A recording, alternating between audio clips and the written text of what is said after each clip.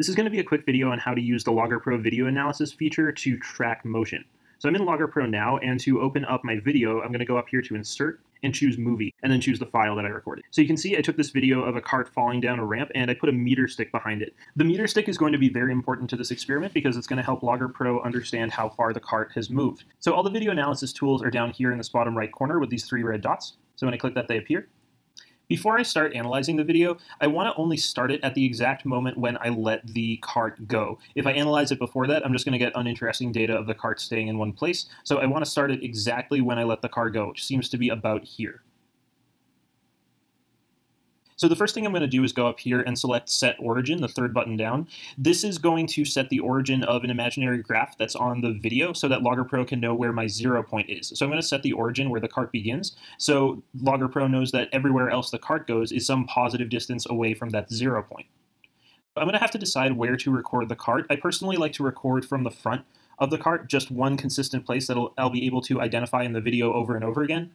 And the very front of the cart is pretty clear. It's somewhere in this area right here. So I'll just select what I think is in the middle right there of the front of the cart. So this, this axis appears. This is going to be the X and Y axis that Logger Pro records on. We only really want to record on one axis today, not two. So I'm going to line the axis up with my ramp by going over to this dot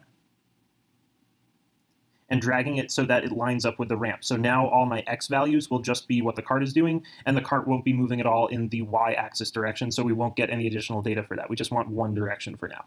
So I just set my axis. The next thing to do is to set the scale of the video. So this is just going to tell Logger Pro exactly how far the cart is traveling over a certain amount of time by showing it an example of one meter.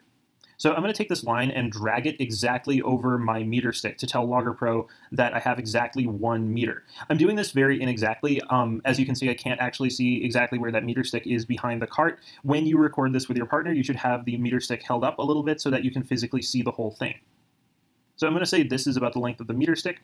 And now it gives me the option to set how much distance is represented by that line. So that looks good. It's just going to be one meter. So now I'm all set to begin to capture motion.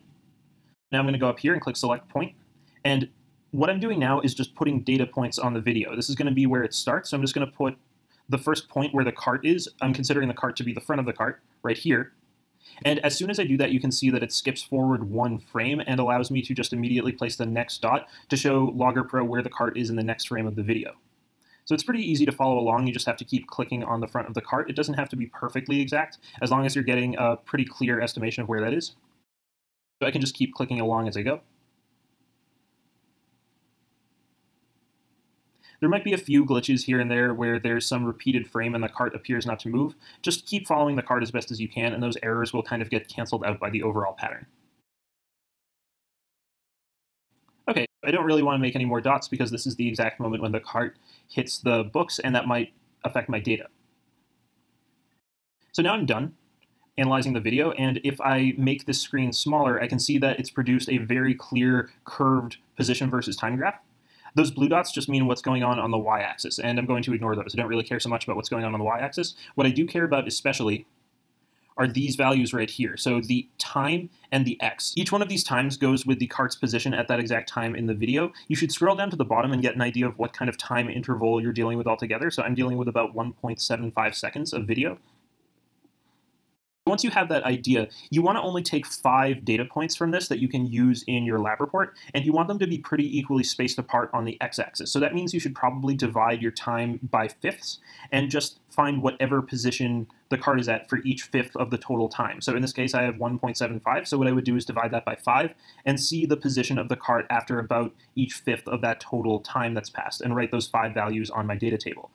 And once you're done with that, you can just take two more video recordings, take two more sets of data, fill out where the cart is for those same amounts of time to try to get a general pattern out of it that you can then average out in your lab report. So that's it to capturing motion on Logger Pro.